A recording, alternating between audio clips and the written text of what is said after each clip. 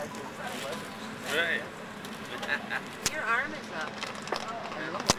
You line it up? He's already Oh, that's anticipating. funny.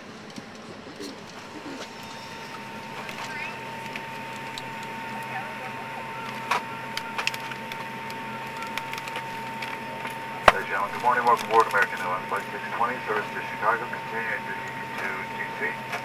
Our flight crew today is Captain Greg, Craig Sherman, First Officer Stacy Trimble. Flight time approximately 3 hours 20 minutes. Only 69 degrees Fahrenheit Chicago. If you would please direct your attention to our flight sensor in the cabin as it demonstrates safety features of our aircraft. To fasten your seatbelt, insert the metal fitting into the buckle, pull the loose and tighten the belt. Lift up on the top portion of the buckle and tighten your seatbelt. Captain will do everything possible to avoid turbulence, however unexpected turbulence can occur. Care about your safety, your seatbelt should remain fastened at all times, even when the sign is not on. As we prepare for takeoff, please be sure seatbelts are straight up, straight left foot away, and all hands are stowed. All electronic devices should already be turned off and put away. All American Airlines flights are non-smoking. Smoking in the lavatory or tamper with a smoke detector may result in a fine. U.S. law requires passengers to comply with all signs and crew member instructions. Please open lavatory doors slowly.